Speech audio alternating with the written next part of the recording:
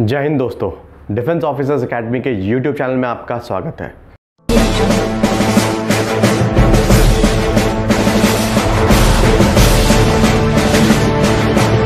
जैसे कि अभी खबर आ रही है कि फिफ्टीन अक्टूबर के बाद कोचिंग इंस्टीट्यूट स्कूल्स जो हैं वो अब ओपन होने जा रहे हैं।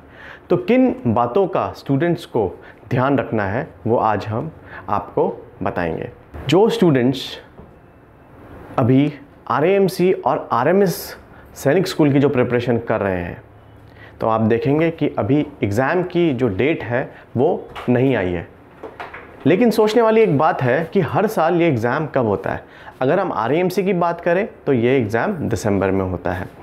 और अगर हम आरएमएस की बात करें तो ये भी कहीं ना कहीं एंड ऑफ़ द दिसंबर और सैनिक स्कूल का एग्ज़ाम जनवरी में होता है। जिस तरीके का पैंडमिक अभी पूरे देश में चल रहा है और आर ने भी अपने एग्ज़ाम की जो डेट है वो डिक्लेयर नहीं करी है। तो ये मान के चलिए कि जो एग्ज़ाम है कम से कम दिसंबर के बाद ही अब होने वाला है।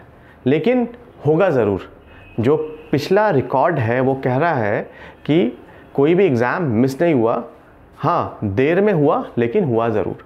तो जो भी एस्पिरेंट्स हैं वो इस चीज़ को ध्यान में रखें कि एग्ज़ाम होगा और उनको प्रॉपर टाइम भी मिल रहा है। अब तैयारी किस तरीके से हम लोग कर सकते हैं?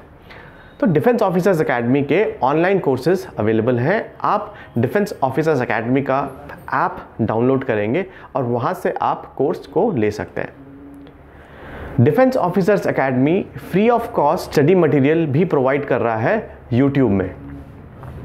जो बच्चे यूट्यूब से ही तैयारी कर सकते हैं। उन बच्चों से मैं कहूँगा कि ऑनलाइन आप परचेज मत करें।